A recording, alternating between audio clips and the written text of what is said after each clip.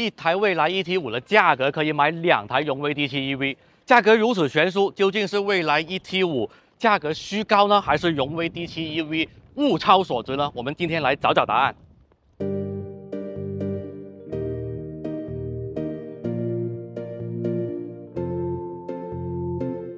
先说共通点，设计层面，两者都是采用了新能源汽车时下流行的极简风格，而且都是利用了横眉竖目的设计语言。但整体看上去，两者有像也有不像的地方。嗯，蔚来 ET5 会更加的年轻运动，而荣威 D7 UV 更加的有那种温婉的知性味道在里面。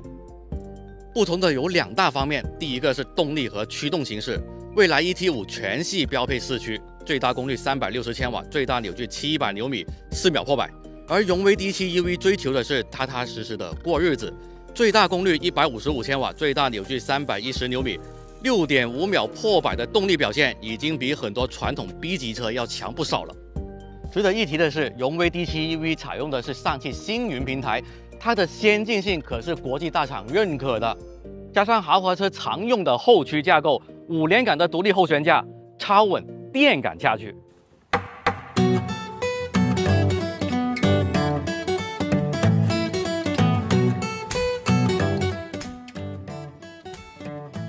另一方面的区别就是内饰的用料以及是乘坐的舒适性，荣威 D7 EV 都要远胜蔚来 ET5。荣威 D7 EV 的匀速智能座舱用料甚为考究，麂皮、真皮搭配包裹，大面积的钢琴烤漆和实木饰板的点缀，满满的居家温馨风格。相比之下，蔚来的极简风格相对来说要素雅不少。空间决定舒适性，所以蔚来 ET5 没什么舒适性可言，尤其是它的后排坐垫比较低，有点蹲小板凳的感觉。另外就是它采用了全景天幕的设计。但是头部空间依然是比较压抑。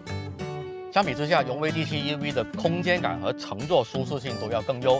肉眼可见，哇，完全没有任何的压抑感。另外就是它座椅的坐垫足够的高和足够的长，所以对腿部的承托也是非常的到位。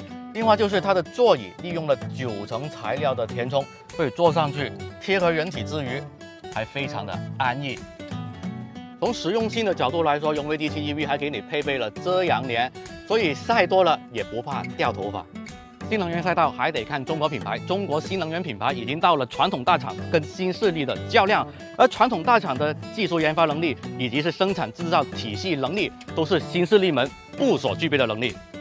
传统汽车大厂的底层逻辑是以先进技术、安全以及是实用性为核心价值，这不是所谓的冰箱、彩电、大沙发能比的。在我们做选择题的时候，不能被眼前所看到的迷惑。